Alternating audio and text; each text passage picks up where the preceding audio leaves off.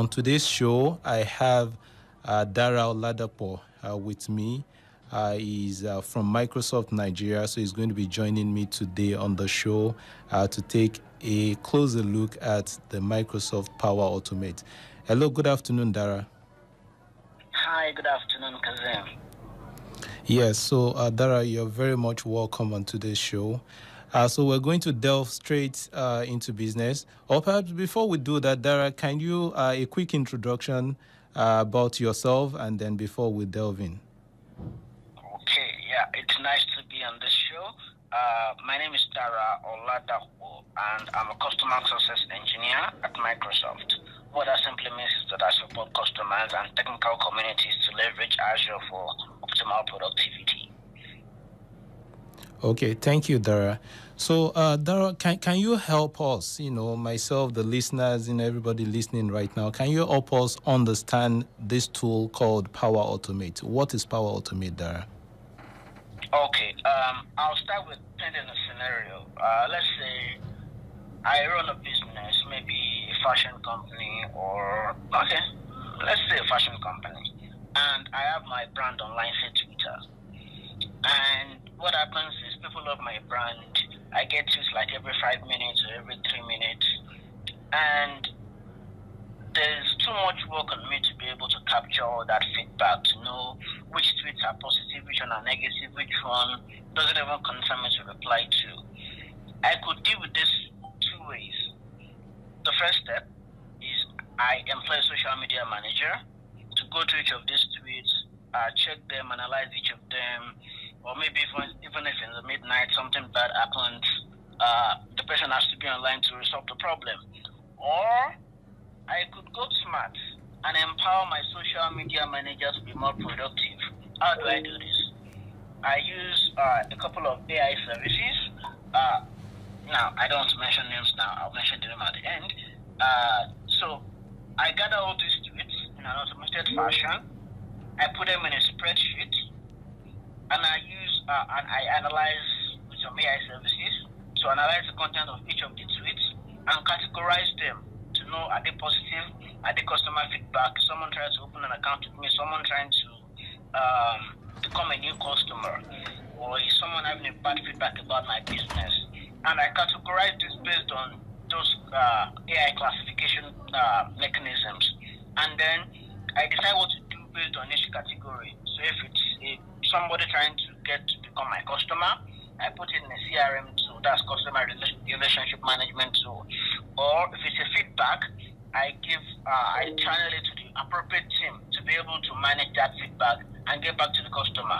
Now, the tool, and now, I can do all this without writing a single line of code. And the service that enables me, that empowers me to do that is called Power Automate. And that's just one of the many thousand scenarios that can happen with Power Automate. Wow. Uh, thank you very much, uh, Dara, for that. Uh, so, in a in a simple, uh, you know, in a layman's language, you know, how do you want to also help us define this, you know, for the non-techie uh, folks listening? You know, yes, okay. I, yes. Uh, so I, will put it as so coming calling from the official definition, Power Automate is a tool that lets users create automated workflows between application and services. Okay. That's it, a simple sentence. Okay, okay. Thank you very much. So we're saying that in a nutshell, uh, we can do some of these very nice, uh, you know, very uh, mouth-watering things without having to write a single line of code. Um, oh yes. Okay, Dara, I know you to be a developer. I know you're, a, you know, you're a developer, a seasoned developer at that. So I want you to share with the listeners now how have you been able to leverage, uh, you know, on this product called Power Automate? How has it been able to help you as a developer? Okay, I'll I'll take one of the most recent things I did with Power Automate. Uh, I run a stream every Saturday, Smooth Saturday and I tweet, people tweet. I need to capture everything that has that hashtag inside. I'm able to perform some analytics on them, maybe even send them automated replies like "Thank you for watching the show" and all that. So what happens is I use Power Automate to capture all the tweets that contain that hashtag, and then I populate an Excel sheet automatically. What happens is at the end of the show, every week, I can go back to that Excel sheet and actually see how many people tweeted at that hashtag. And I'm able to actually know how much impact that stream is making. That is one of the scenarios I've used. Now, I could have decided to go write uh, lines of code to plug into Twitter API, and then I write some code to populate an Excel sheet somewhere. But I could simply just connect with it. Within five minutes, I was actually done creating all that workflow without having to write a single line of code. Oh, wow. Wow. That's really nice. Uh, another question, Dara, for you is, um, you know, Power Automate and uh, the Power Platform generally is known as a no-code or less-code uh, kind of product. So um, I'm hosting this show today on LASU Radio, you know, so how would you say if we want to um, take advantage, you know, LASU students and their lecturers, you know, want to take advantage of a tool like uh, the Power Automate, how do you think we can put it to use in a university setting such as LASU? You know, how can it help uh, the students and the lecturers, you know, at the same time? How can they take advantage of this tool? Do you think, uh, you know, you can work uh, you know, in, in a university setting between lecturers and students? Okay, uh, so I'll, I'll find it in a number of ways, and of course, there's a lot of other possibilities apart from what I'll mention. Uh, so, for example, uh, a lecturer gives out assignments to the students, and they're supposed to submit online on a portal or something, or maybe even it's a quiz they're supposed to do. Maybe even it's in a class. So in a classroom at the end of the class, I project on the screen, say, answer these questions, and that'll be your assessment. And then, of course, I sign in with my uh, student ID to fill in all the uh, to fill in all my survey on uh, on the quiz rather. And what happens is at the end of everything, once everything has submitted, it populates a spreadsheet for me. So show how many students actually filled in the quiz, and then I'm able to grade in a very nice manner. That is one thing.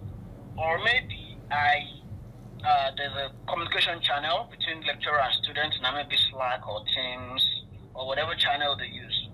What's gonna happen is maybe I upload, uh, say for example, computer science department. Uh, I upload a lab for the students to go complete.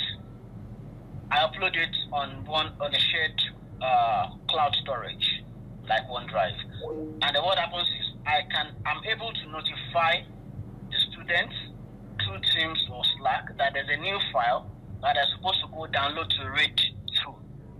So maybe before class, before the next class, I upload the the the outline for the course that I'm supposed to teach in the morning. Every student gets an email or a chat message or maybe even SMS that there's a new file for them to go download and read, and it attaches the link to it for them. Maybe even does a summary of the notes for them. Those are two scenarios that I can think of the top of my head. Out of there's a lot of other possibilities that can happen depending on how creative you want to be with it. Okay, so so you're saying Dara here that um, it means that the lecturers will need to have some basic understanding of how the tool work. Is that correct? To be factually honest with you, maybe a little work tool, but to be honest with you, uh, it's something they can easily log into and configure like without maybe even having to read some very special documents because the, the, the creation process is simple and seamless that you don't need any special tutorials to go through. Okay, okay. All right, Dara. And uh, before we go on a short break, Dara, uh, you are an on-the-job person. So I, I want to ask, uh, you know, this tool, do you use some other tools in addition with this Power Automate tool to get your job done? Uh, if you do, do, do, you mind sharing, uh, you know, some of these tools that you use to augment, uh, you know, Power Automate, or is it just a Lone Ranger? Is it a standalone tool that you can get, uh, that you can use to get all of your job done? Okay, so as as we know, all these uh, less code platforms, no code platforms, or even coding platforms, they are means to an end. The end is supposed to be productive, yeah. So what happens is Power Automate is one of the tools I use. So it has something we call connectors. So I can connect to my separate services. Say, for example, I um, I don't know, maybe I finish maybe an online conference call. It can get the link of the video, share it with me, or maybe even download it to a shared drive and share the link with every attendee. I use other services to be honest. Um, an example is a popular example, of course, is Twitter. I can use my Google Drive, so maybe I want to synchronize stuff from my official OneDrive to Google Drive, even though it's not that compliant. Yeah, I could do that, or maybe I want to keep some stuff in synchronization. I can do that. So I use uh, storage with it. I use uh, some coded services. So, for example, I can decide to call an API. So, for example, once it finishes uh, uh, getting the tweets, I can call an API to do the analysis on the tweets. There's just a lot, and if I start to mention, we may not leave here today, to be honest, because the possibilities are just endless. Okay, okay. Thank you so much, Dara. So I think we we need to go on a short break now, and we'll be back in a little bit.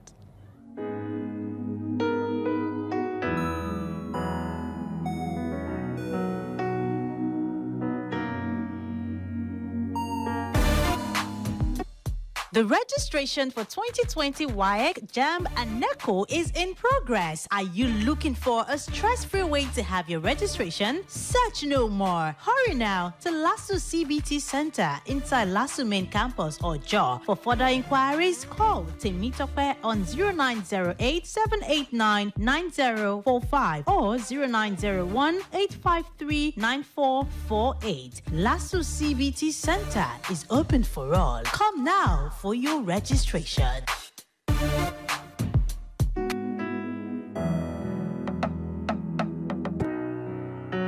All right, you're welcome back. It's the Tech Talk Show Wednesday with Kazeem. And again, I'm having Dara Oladapo of Microsoft Nigeria with me on the show today. Uh, so, Dara, uh, um, I want to put you on the spot right now, Dara. Um, you know, it would have been nice. This is a radio show. It would have been nice that, uh, you know, we'll ask you to show us a few of those things that, uh, um, you know, you've been able to do with the Power Platform product and uh, with uh, the Power Automate, uh, to be specific.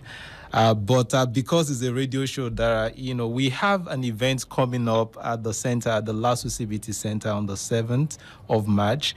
So I want to ask right now, you know, the students are listening. Uh, will you do us the honor to be around, you know, uh, for this event to come and show us some of these cool stuffs? Dara. Okay, 7th of March. Of March. Uh, well, I wouldn't commit yet, but uh, it's something we can walk around. So maybe even if I'm not able to come, I could probably do a pre-recorded session and be online to answer questions. If I'm not able to make it, of course. Oh, okay. But uh, it looks like that date is still free on my calendar. I don't know what can happen between now and So we'll just, we'll just take it that you'll be at the CBT Center on the 7th then. Okay, okay, all right. all right. So thank you so much, Dara. So um we have an intern here with us, uh, you know, for at the LASU CBT Center every time I host the show. So I try to come on the show with uh, you know, some of the interns. So I would allow the intern introduce himself and perhaps uh, he he has a question for you, Dara. All right. All right. All right. Good day, listeners. Good day, Mr. Dara. I am Saeed. Yeah, good day. Yes, ma'am. I'm Saeed, an intern of LASU CBT 18. All right. Maybe I will ask you your question uh, later, as uh, when the program the program goes on. I'll ask you. I haven't penned down the questions very well, so I'm still coming, sir. All right, no problem. All right. Sir. Okay, so uh, there are no questions for you from the interns at the moment, Dara. So I want to ask Dara quickly, uh, how easy really is it to learn this tool, Power Automate? How easy is it to learn? And uh, if we have listeners um, wanting to build a career in Power Automate, you know, so what are the career paths? You know, what would be your advice for people who want to uh, delve into Power Platform products generally, or learn how to code using these no-code tools? Okay. Uh, well, as I mentioned, there's a lot of possibilities, and of course, Power Platform is a one in a tool of services that connects to many other things. So I generally just see it as something to enable me to be more productive as a business person, as a programmer, as a manager, as whoever I am.